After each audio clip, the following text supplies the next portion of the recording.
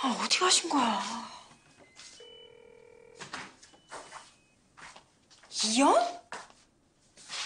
나 알아? 이랑은 몰라. 나갔다 보니까 없어. 전화도 안 받으시고. 존댓말은 개나 줘버린 거 보니까 네가 그거구나?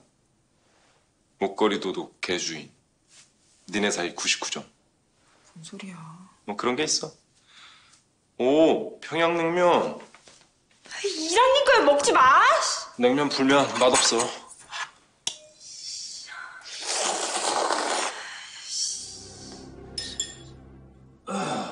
아 잘 먹었다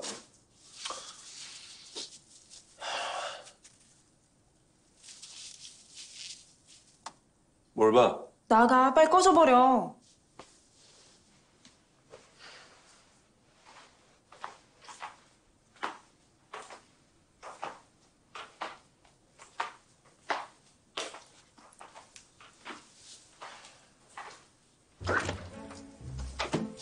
다 얼음밖에 없어. 아이스크림 같은 건 안 키우나 봐?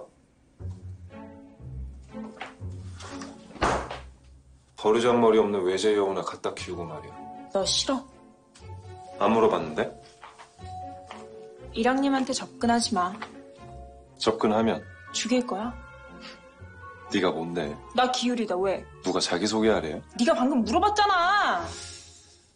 이 지능이 썩 뛰어난 것 같진 않고 이랑이랑 커뮤니케이션은 되지? 내가 훨씬 잘 알아. 과연? 이랑님은 냉면 먹을 때 식초 안 넣고 겨자만 넣어 먹고 꽃게 같은 거 먹으면 입술에 뭐가 막 나. 김밥에 오이가 들어가면 쳐다도 안 봐. 죄다 먹는 얘기뿐이네. 근데 너 때문에 너 같은 것 때문에 이랑님이 이현한텐 절대 비밀이다. 이랑이 뭐? 너 알 거 없어.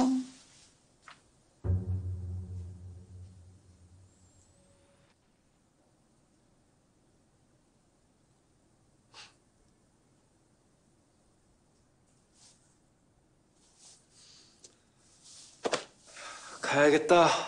응, 가버려. 허이허이. 뭔가 비련의 주인공 코스프레는 다 하더니 엄청 불행하진 않았겠네, 이랑도. 기왕 지키는 거 끝까지 잘 지켜줘라. 이랑한테 전해. 냉면 값이라고.